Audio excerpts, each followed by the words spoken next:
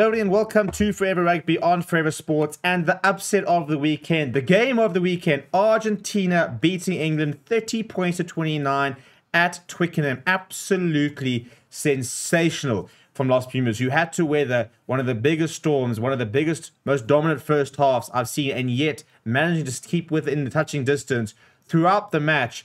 And a Puma side that we, as we said, we know that they can beat some of the best teams in the world while they've just done it away from home and this Argentinian side is a really special one under Michael Cheika.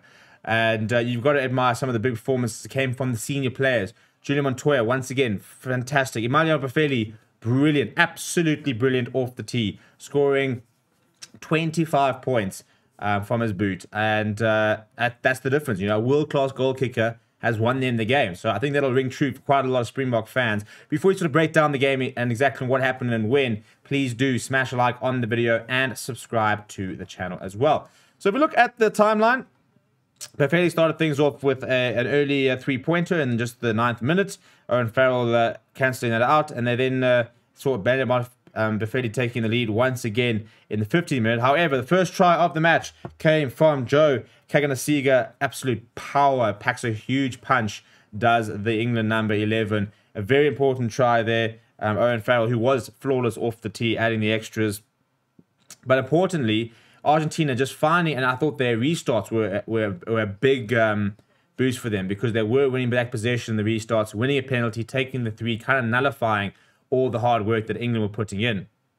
So, uh, and a, a Boffelli uh, penalty in the 33rd minute, followed by a Farrell uh, penalty in the 36th minute, by another Boffelli penalty in the 38th minute, and then a pretty silly penalty for Argentina concede right on the brink of half time. Uh, so, Owen Farrell making it a four point game on the 40th minute, 16 points to 12 it was. But Argentina starting like a house on fire. An absolutely sensational move off the back of a lineout. Bertranou taking a position, you know, halfway down the track, uh, very nice pass from Montoya. They managed to sort of recycle three passes, go the full width of the field. Mario Boffelli then ran in that try, missed his only kick of the uh, of the game, and then a few minutes later, a poor offload from um, Farrell uh, went to nobody, and Carreras was there, grabbed on it, ran the distance, managing to outstrip uh, Freddie Steward, diving over there in the 51st minute. Boffelli adding the extras. All of a sudden, 24 points to 16, an eight-point game, but as has kind of been characteristic with Argentina, often switch off just after they have scored points. Jack van Poortvliet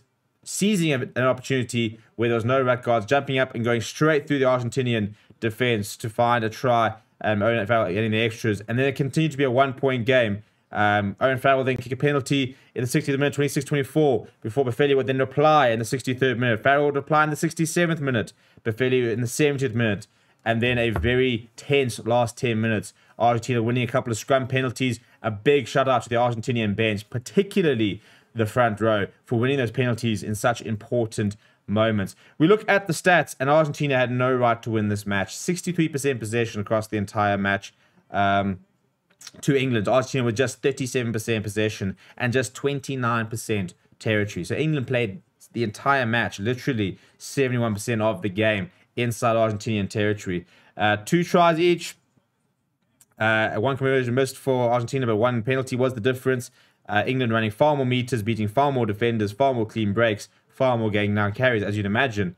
Um, but Argentina just, you know, living off the scraps and, and making every opportunity count. A big shout out to the Argentinian defense. Uh, 137 of 154 tackles made, 89%. England missing seven tackles of the 56 they were asked to make. Um, both goal kickers very good today. Um, Farrell, 7 from 7. Boffelli, 88 uh, percent, seven from eight. The back success rate was pretty good for both sides. Lineouts, uh, neither side lost the lineouts, but England losing three scrums, a big part of the Argentinian game, which hasn't always been traditionally very strong, but uh, very much coming in clutch towards the end. Uh, and not, too, and discipline wise, you know, for as many, uh, you know, there are a lot of penalties conceded. I think the issue was both sides conceding penalties inside their own half with two quality goal kickers. Seven penalties conceded by England in their own half, just two in the opposition half, six conceded by Argentina and just two in the opposition half. Also, no yellow cards across the match, which was quite nice to see. If we look at some big performers, Billy Vunipola made a lot of carries, um, beating three defenders, 60 meters across his 11 carries. Um, I thought that Marcos Kremer was characteristically brilliant on defense, making 19 tackles. Uh, Montoya led from the front, 14 tackles. Um, I thought John Martin Gonzalez was very good as well. Pablo Matera grew into the game, got a lot better in the second half. Uh, big shout out to, to Jeronimo de la Fuente, who made uh, 11 tackles in that midfield. And uh, look at the England side, I thought Freddie Steward uh, struggled a little bit, or didn't have too much to do defensively, um, but was very good in the high ball. Obviously, a very nice um, option to have. Uh, I thought Joe Cokanasiga 104 meters gained, two defenders beats in a clean break and offload. Made both his tackles well, had a very good outing. Uh, Carl Sinckler as well, doing a lot of hard work. Ellis Genge characteristically carrying quite a lot. Um, but shout out to the bench because I thought the Argentinian bench, uh, Eduardo Bello in particular, for example, I thought Facundo Isa brought in a lot of physicality when he did come onto the, the pitch, making nine tackles. Uh, what a game. What an absolutely fantastic game. Let me know what you think of the game down in the comments below. Please do smash like on the video and subscribe to the channel as well. Big congrats to Argentina, and let's see what they can do next weekend as well.